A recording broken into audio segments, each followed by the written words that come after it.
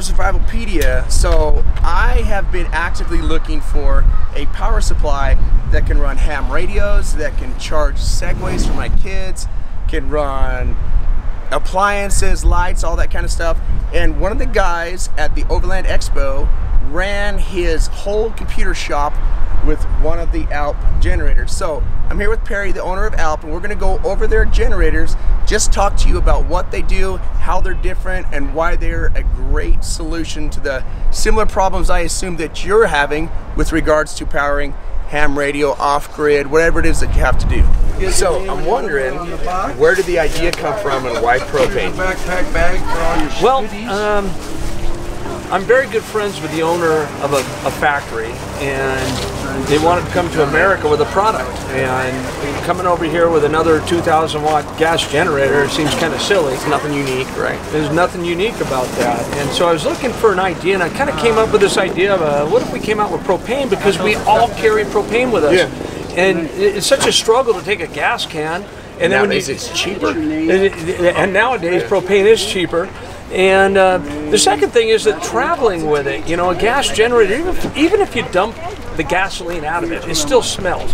If you're carrying gasoline with you, uh, and you or you have a gas generator, you might be able to dump all the gas out, depending on where you are. But now you're dumping it into the soil, you're dumping it in the dirt to be able to get rid of it. And it smells. I, I know when I carry mine, I have to put it inside the camper, and it smells. I'm in the process of looking how I can fabricate a, a bumper hitch just to put the generator and gas out there, and I like the idea of not putting on the inside. Okay. There's so many good reasons for propane. Your carburetor is never going to get clogged up. It's vapor. It's designed and engineered to run on vapor. So as soon as you disconnect your fuel source, then it's, the vapor is going to dissipate. So there's nothing left in your carburetor or in your fuel lines. Nothing's ever going to clog in it, and it doesn't smell. So now you could take it and put it in your kid's car seat. You won't even know it's there. There's nothing to spill, and it's nice and clean. It's awesome. So, if we wanted to use something like this to say run run a ham radio, because you're trying to do SHTF comms or something for a big duration of time, or even like in my case, take it camping to recharge my kids' segways, like how would that work?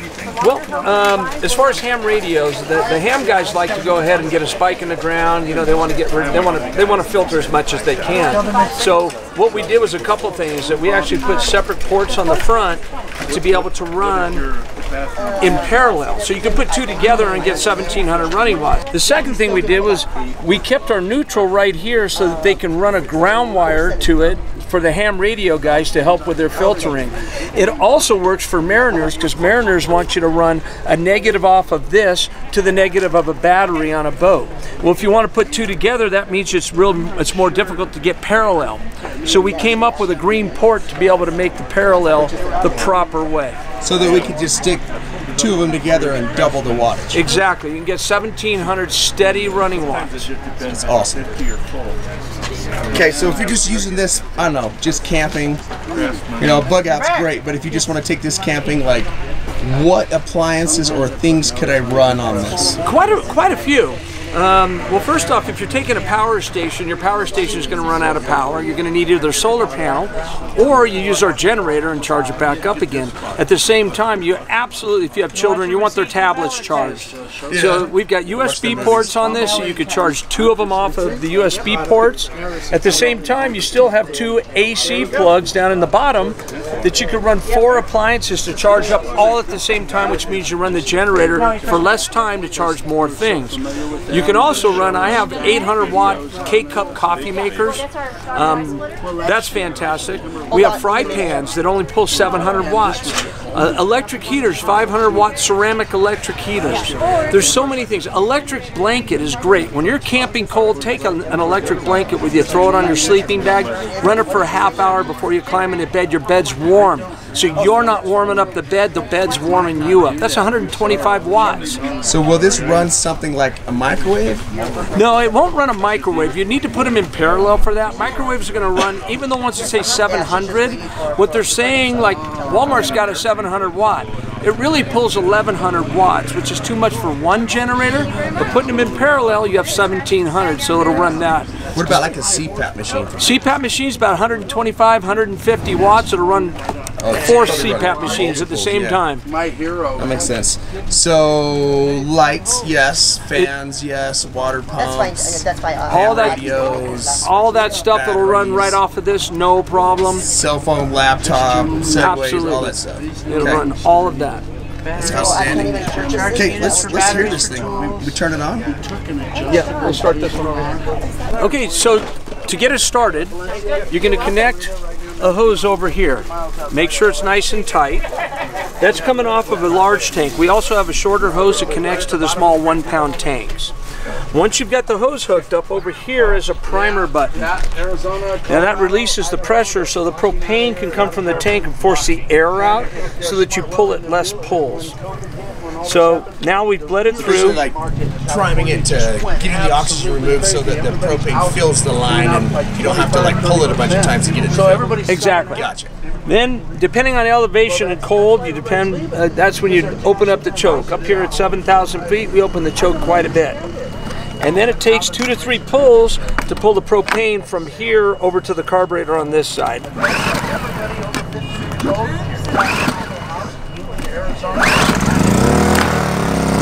Then we turn the choke off.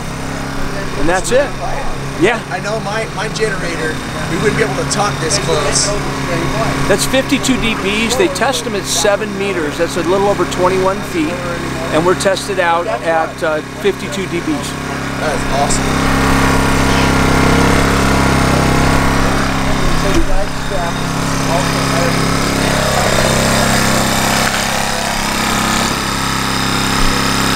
It's not even maxing out my microphone. I don't know what it's going to sound like in the video, but I can see that the human voice when we talk loud will max out my microphone, and that is right in front of a shotgun mic and not maxing it out. Why it's good. That way your neighbors don't hate you. Exactly. this guy got knowledge. if You can hum it out. You were talking to me about eco mode, right? So what's it doing in eco mode? Like, how does that work? Well, what it does is that's energy saving. Okay, so what's happening right now is we're out, we're down at about 200 watts. So if the, the RPMs will go up to whatever is needed. If you need 287 watts, it'll go to 287 watts. It, it pulls it up automatically. For instance, here's a, a, a heater that pulls 750 watts. You'll hear the generator race up to be able to feed the 750 watts exactly to it. And that's 750 watts, and that's the maximum volume that this generator, as far as how loud it goes when it's working. And I can still hear you over the top of the generator, which is awesome. Yeah.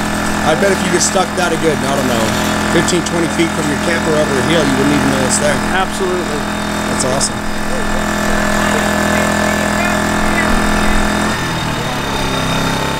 Whenever you're ready.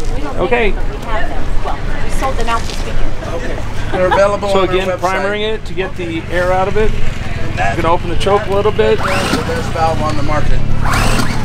Not being so. We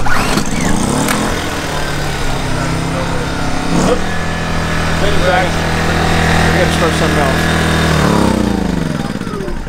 else. First thing we do, okay, if we're gonna run in parallel, parallel, then what we're gonna do is we're gonna connect red to red, black to black, and we added a green port. Now normally what they have is you're gonna connect to the negative or the neutral down in the bottom.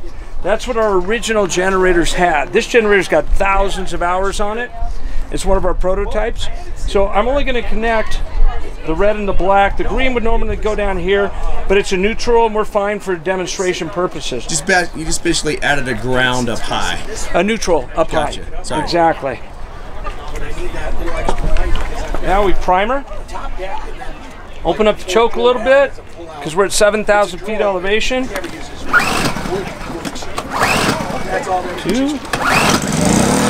Third pull from AO. Three pulls every time. We also take the econo mode off.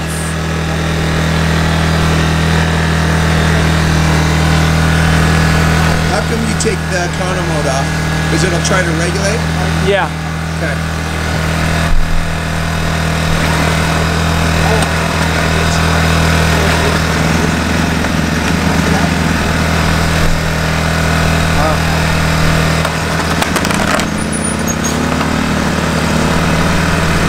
Yeah, you can tell that's a lot. So we're now in parallel mode. Now, each one of these plugs, they're 20 amp plugs, have 1700 running watts. So it doesn't matter which one you choose. Doesn't matter which one. If you plug into one and you're pulling out 1200, the other three will still service the other 500 watts. So here's a 750 watt heater. We're gonna plug it in, and then I'll turn it on. And you didn't hear any raise in the RPMs because we have eco mode off, and we're not pulling enough to drain it out of any, any more than 750 watts, and we have 1700 there. That's That's enough to actually be able to run a 13.5 roof air conditioning in my motorhome. That's awesome. So you can run AC, you can run microwave, fridge, the really power hungry stuff. Absolutely.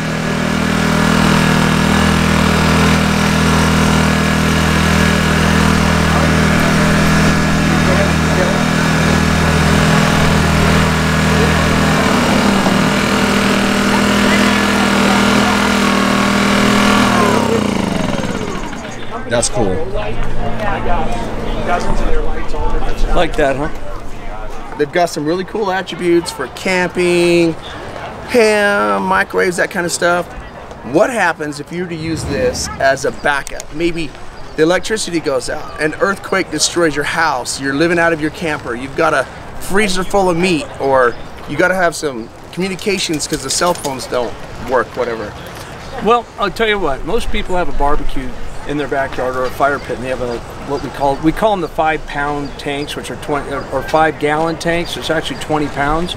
Uh, most of them on exchange are going to go uh, 15 pounds on Those exchange. blue rhinos you Yeah. can buy at like Walmart or gas stations. Exactly.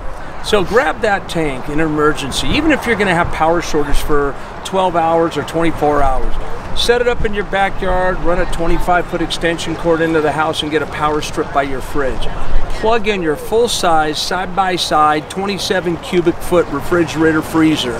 Can you do this on one or two? You can do it on one. You can run two. The surge takes the life of the machine. It's going to take all every bit of 1,000 watts to get it started. That's like Maybe the 800 startup, watts yeah. at startup. But then once it's running, it's going to drop down to like 200, 250 watts. Now, if you plug in a second fridge or freezer, it'll start it and they'll run side by side without a problem because you're only using maybe 500 watts. But if they both decide for the compressor to start at the exact same moment, Pop your fuse. it'll it'll trip it out. Okay. But you can run two units at once, and I've had a person that actually did that in emergency purposes. And on like day three, they started at the same time, so he reset and he was still good Just hit the breaker and okay, that And makes that's sense. it. So, So- you, you could you could potentially buy one generator per freezer or fridge. Absolutely. Yeah, okay, that And, makes sense. Uh, you know what else it works for is that uh, quite a few of the furnaces in the homes they run on natural gas, and if, if you have an earthquake, you know you're supposed to turn off your gas, uh, so that might not be a situation. Maybe you've had like a power outage and your electricity doesn't work. The gas is there, but you can't regulate or pump or blow. Exactly. It- it- depending on how many amps your your furnace is taking, quite often they're less than seven amps. We're at 7.1 amps, so you can actually plug your furnace into our generator Heat and, your house. and heat your entire house. That's awesome. That's so we have a gentleman up in uh, the Northeast that's doing that. He has 450 watts is what he needs. completely off grid there. A hundred percent. Okay. In fact, I have people. There's a guy in Idaho that started our generator uh, the first week in November, and he's been running it 24 hours a day, seven days a week since then. Has he had any like blowouts or Uh, running no, down? he's running everything. He knows what his, his limits are, as long as you know what your limits are, then Well, you can make it work. Since I've done stupid things with electricity, the cool thing about that is if you exceed your limit because you woke up and turn on all the lights and the microwave and the AC and all the same thing in your one vehicle, it just pops a fuse and the generator stops. Right? Exactly. You go out and push that button, reset it, don't do that again, and you found your limit. It- uh, pretty much So on it's ours, more forgiving. It'll trip it. It'll trip a breaker on it, and then you shut the generator off. So it'll, it'll reset. Restart the generator, and you're ready to go. You haven't damaged any electronics. That's awesome. Your electronics or the generator electronics is all totally fine. So you could run easily, and it's about 400 watts, which is about half the power that we have. You can run a full side-by-side re- refrigerator freezer.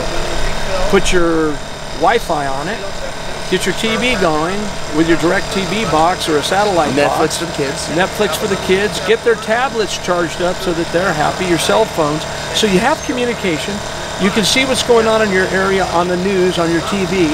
You can put some lights on, especially LEDs. And your refrigerator, you've stored your food and you don't have to go out and lose $600 Yeah, worth of food in your lose all your meat. Exactly. Okay. I, I think that's the solution. Thank you for your time. Where can My people pleasure. find these if they want to get? ALPgenerators.com. That's easy. There you I go. like. All right, guys. If you have any comments or questions, leave them down below. Thank you for watching.